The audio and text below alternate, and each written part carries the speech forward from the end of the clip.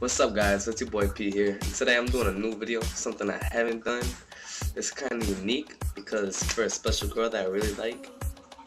You know, and today I'm going to be doing something a little differently, something I don't usually do on my channel.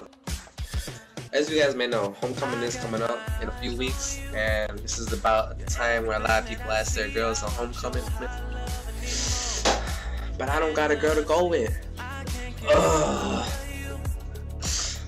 But you know what? Maybe there's hope for that. Because I have something I want to say in this YouTube video. And you know, there's this one girl I like in my school. I've liked her for a couple months now. But I haven't had the nerve to walk up to her and tell her this. You know, don't you just hate when you really like somebody, but yet you're too afraid to tell them you really like them? happens all the time. This is why I'm gonna be forever alone. Hopefully I'm just playing though. That was a joke. Hopefully guys. But you know, there's something I want to say in this video.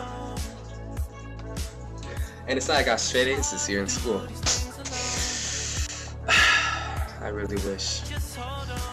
But not for real. I'm trying to get off topic of this video. What this video is about is homecoming. And yeah, I'm gonna talk about this right now.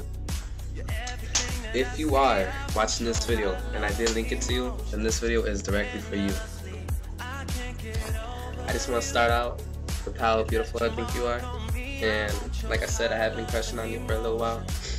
And you know, homecoming is coming up in a few weeks. Uh, this was a dumb idea.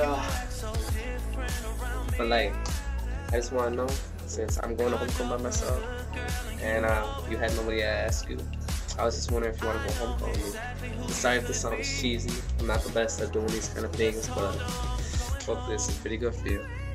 And this is probably one of the stupidest things I've ever done because the fear of getting rejected, which is probably gonna happen, is pretty high. So, and it's scary. So, you know, at least I'm going for it.